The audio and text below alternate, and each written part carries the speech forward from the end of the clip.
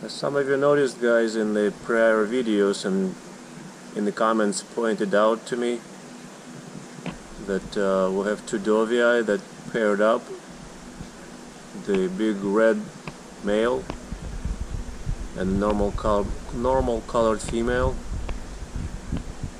And I've noted a little fry one or two I'm not sure in the sump.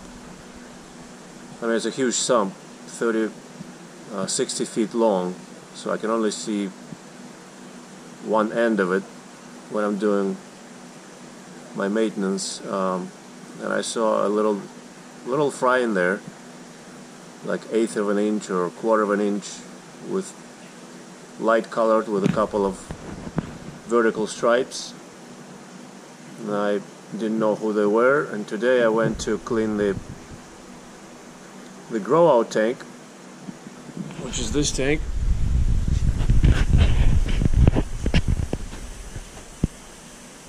With the five dovii, three synspilum, five ambi, and 75 or 73 vieja hybrids, and a bunch of other fish, and, and I see there is the eggs are in in the corner.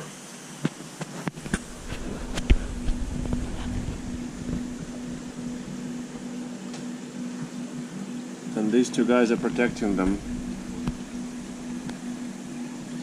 So these dovii, I, I well, I got them about half a year ago, maybe seven months ago, at uh, about an inch. They were tiny. So I guess they reached sexual maturity pretty pretty early. It looks like dovii already spawned the first time for us.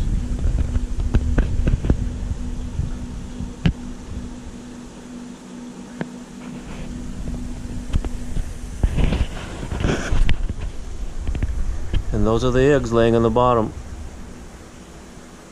And that little minnow that I saw in there, that must have been from earlier, from an earlier spawn that got washed into the sump and now it's living there in the sump.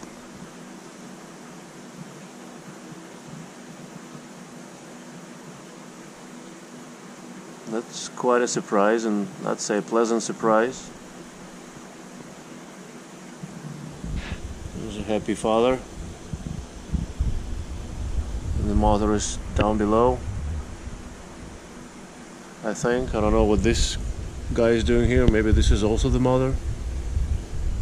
But it doesn't look like it. No, it's just a passerby, one of the dovii.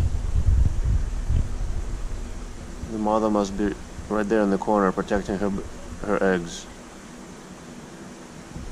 The catfish are maybe trying to get some of them, I'm not sure. Anyhow, I went in here to I went in this tank to clean up all the trash laying around and that's when I saw the eggs.